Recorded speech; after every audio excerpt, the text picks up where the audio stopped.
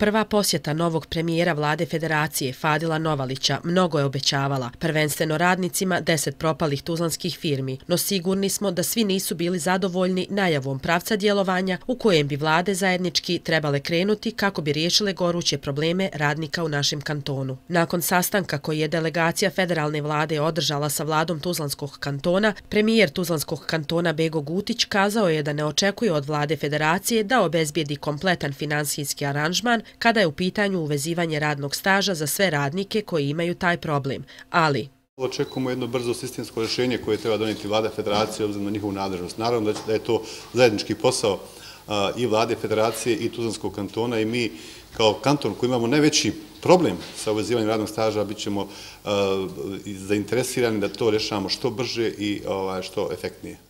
Premijer Novalić istakao je da pitanje propalih preduzeća ne može dobiti jedinstveno rješenje, jer je svako preduzeće poseban problem i po dugu i po kapitalu i po imovini, a i po mogućnosti da se ponovo vrati na tržište. Činjam se da neku šansu ima TTU i zato što nije znači, potpuno prestorati, zato što odnos tamo dugova i, i, i, da kažem i kapitala je još uvijek povoljan. Ovaj, on se može, da, da kažem, e, e, podići, jel tako? E, vidimo, ima šansu, vidimo da i, i Dita ima takvu šansu jer je funkcionalna, znači ovaj, kao fabrika je funkcionalna, iako ima nepovoljan odnos kapitala i, i duga. Ovaj, I ono što danas vidimo jeste da AIDA nema takvu šansu. Pojasnio je da za određena preduzeća vidi šansu kroz stečaj, tačnije stečajno restruktuiranje, a u drugom stečajnu likvidaciju. A to su riječi koje napokon trebamo prevaliti preko usta, iako ih izbjegavamo već 15 godina, kazao je premijer Novalić.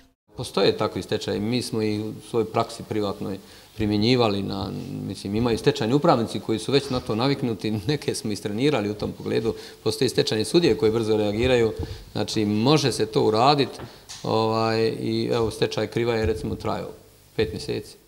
Na sastanku se, kako je kazao premijer Novalić, dotaklo i problema rudnika koji su u očajnom stanju, a bez kojih nema struje, jer svjesni smo da 51% sve struje u federaciji dolazi iz Tuzle.